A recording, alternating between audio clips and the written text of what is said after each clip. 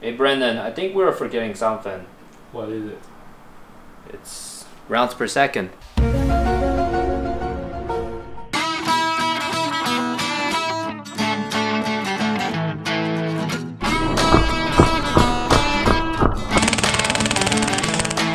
So hey, we're back.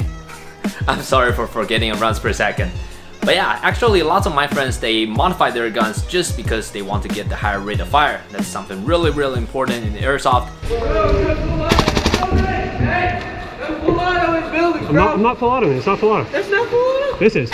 That's Filato. Damn, bro. Okay. For some beginners, they might ask, why do we need more rounds per second?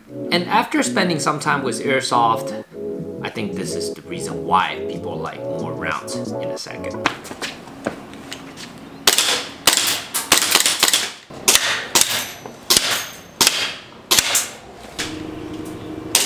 Hit.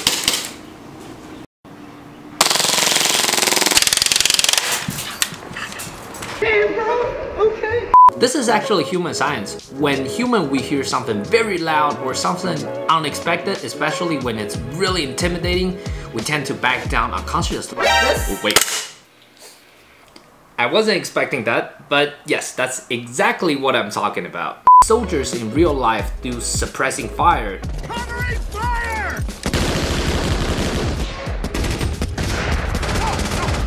This is actually a technique that really works in real life, and guess what? It works really well in Airsoft too. Last but not the least, fast rate of fire would actually give your AEG a much faster trigger response. I mean, for beginners out there, there are two different kind of guns. There are AEGs and also GBBs. For GBBs like this one, it's very simple. Once you rack the charging handle, and when you pull the trigger like a real gun, the trigger response is instant. However that for AEGs, it's a whole different story because I mean, there are so many more things going on. I mean, there's the motor, the gears, the gearbox, pistons, piston heads, springs, and batteries, things like those would really slow down the trigger response. However that there are so many different ways that you can upgrade your gun to increase the trigger response.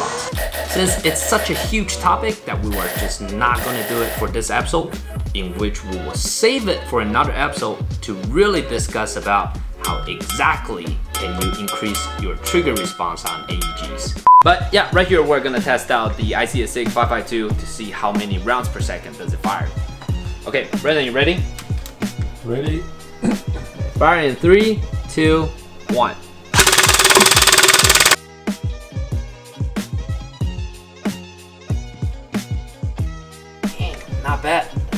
18.8, almost 19. So some people might ask, how does the chrono actually work? Right, like how does it work? The chrono is this small handheld device that is used to measure different aspects of your airsoft gun's output. And if you look closely into the tunnel, that you will see there are two screens on both sides. One is the projectile and the other one is the receiver. If you fire the gun with full auto mode, the pass of time between two BBs will be measured electronically by the screen. And in math, it could calculate the number of rounds that your gun fires in a second. And it's called rate of fire, aka RPS, rounds per second. To be honest, I wonder if the numbers are real.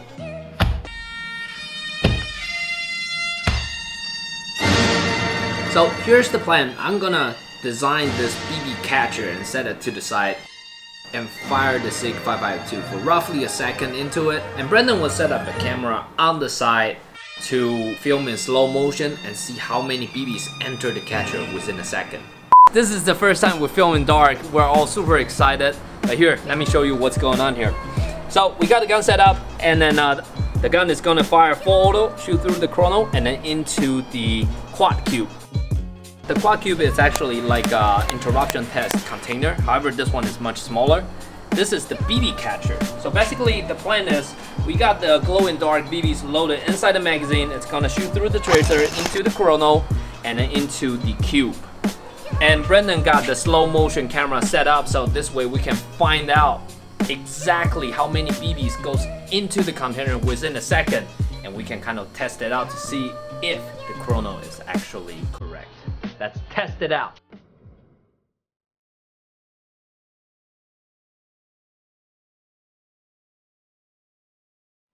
All right, guys. You guys are ready? Yeah, we are ready. ready. I'm super excited. Okay, and on my mark then, okay? Make sure the gun is in full auto, fire in three, two, one, go!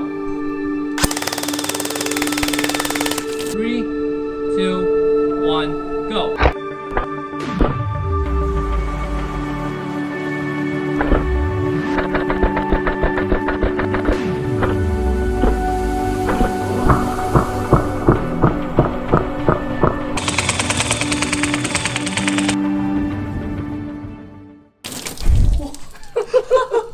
That was like how many how many runs? Hey Brandon, check it out.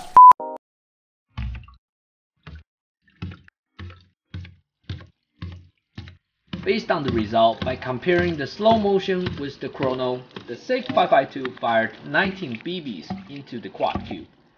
That tells us something, the chrono is actually right. But because sometimes the chrono gets some misread, I think we will stick with the quad cube. That's it for today's episode. This time it's for real. I'm so happy that we're finally done with the grading system test for the ICS SIG 552. Overall, out of the stock gun, it really performed pretty good. So just before you go, help us to share our videos, like and subscribe to our channel, and make sure you stay tuned for